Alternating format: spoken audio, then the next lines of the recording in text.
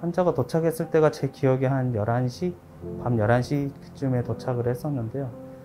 어, 오셨을 때 전혀 의식은 없고, 그리고 산소 포화도 수치가 이제 산소 마스크로 최대치를 산소를 주고 있음에도 불구하고 한 70% 정도밖에 유지가 안 되는 호흡 부전이 좀 심각한 상태였고 많이 심각했던 상황이었습니다. 거의 폐 기능이 거의 없는 상태로 내원을 하셔서 조금 보호자분한테도 계속 아, 뭐 최악의 상황을 고려를 해야 된다라는 설명도 여러 차례 했었고 그 사실 장모님이 들으셨거든요. 어, 그 다음 날 들었는데 사실 제가 거기서 그 얘기를 직접적으로 들었다고 하면은 모든 게 다 무너지지 않았을지 않았을까 싶을 정도로 너무 충격적인 얘기여가지고 응급의학과 의사라면 다 똑같겠지만 어쨌든 환자를 꼭 살리고 싶었고요.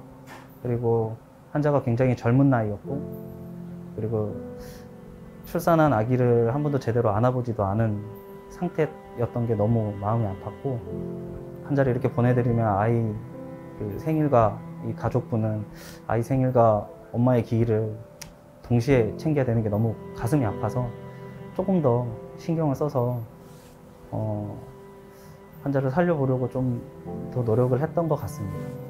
기계 보조 장치를 계속 조절을 해가면서 호흡 유지를 시키고 있었는데 어, 도저히 유지가 안 돼서 심폐를 보조해 줄 수 있는 기계, 즉 에크모가 필요할 것으로 판단이 돼서 새벽에 흉부외과를 호출을 하게 됐습니다. 아, 제가 연락받았던 때는 새벽 4시였나 아마 그 정도쯤 됐을 것 같은데 에크모를 필요로 하니까 저는 최외순, 최외순환사 선생님한테 전화를 해서 병원으로 오라고 하고 옆에 전공의사 선생님 있으니까 세 명이 하면은 충분히 할 수 있거든요. 바로 그냥 저기 에크모 삽입을 했어요. 폐동맥 혈전이 있는지는 확인을 해야 됐기 때문에 바로 에크모를 하면은 바로 또 산소 농도가 올라가니까 CT 바로 끌고 가서 CT 찍고 병동 저기 중환자실로 바로 올렸었습니다.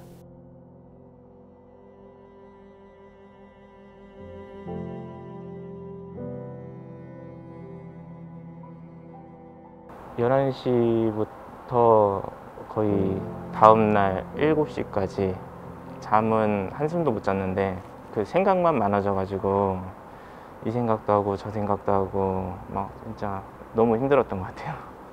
중환자실에서 저희가 심장내과 의뢰해서 심장 초음파를 확인을 했어요.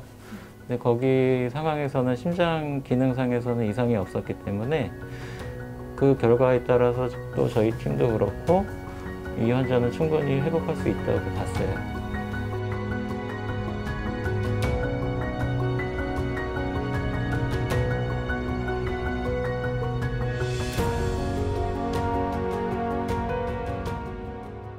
기분은 굉장히 좋죠. 왜냐하면 에크모하고 살아날 수 있는 분들은 극히 한정적이기 때문에 그런 분들을 만나는 거는 사실 축복이고요.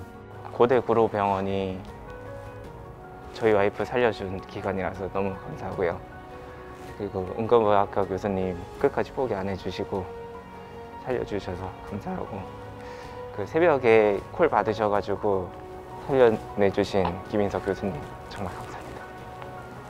그런 상황에서 어떤 환자인지도 모르는데 받아주신 고대 구로병원한테 일단 정말 감사하고요. 그리고 무엇보다 저 흉부외과 김윤석 교수님한테 정말 말할 수 없을 정도로 너무 감사하다고 생각하고 있어요. 중환자실 간호사 선생님들하고 어머님들한테도 꼭 감사하다는 얘기를 전하고 싶었어요.